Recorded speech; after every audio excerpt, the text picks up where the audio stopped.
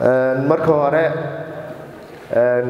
qodobkanu ka hadlanay waa qodobka lixaad farqadiisa c oo ah waxbarashada ee ajandadeena kalfadhiga sideedaad waxbarashada guud ahaan marka ugu horeysa waxaan ambalaynaya wasaaradda waxbarashada.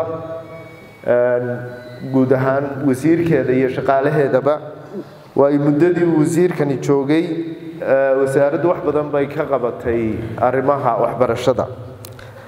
Balse saaka waxaa ii raacda laba arrimood oo bulshada dhibaato ku haya oo u baahan in laga hadlo.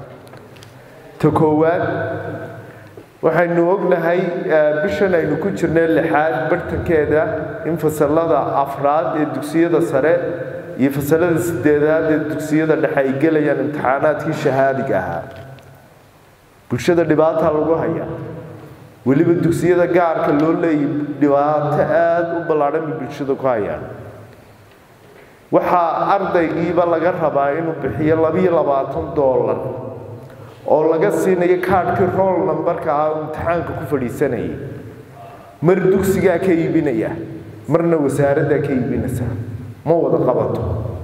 Bulshada ma wada qabato in laba jeer wax laga wada iibiyaa ta koowaadaan soo jeedinaya waa inay wasaaradda waxbarashadu arrintaa dib ugu noqotaa oo ay ka shaqaysiisaa waaxdii kormeerka wasaaraddu lahaa jirtay oo bulshada aan laba jeer waxba laga wada iibin ta labaad ee bulshada dhibaatada ku haysaa waxaa weeye ardaygii oo fasaxa oo aan iskuul tegin waxaa laga rabaa inuu bixiyo lacagtii baska lagu qaadayey iyo lacagtii iskuulka ardaygiina gurigu ku dhex fadhiyaa bulshada ma qabato taasina.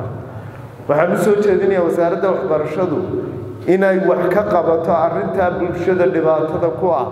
Maanta dhaqaale ahaan dalku wuu liitaa bulshada in culays la saaro maaha. Bulshadana waxaan u soo jeedinayaa inaanay bixin.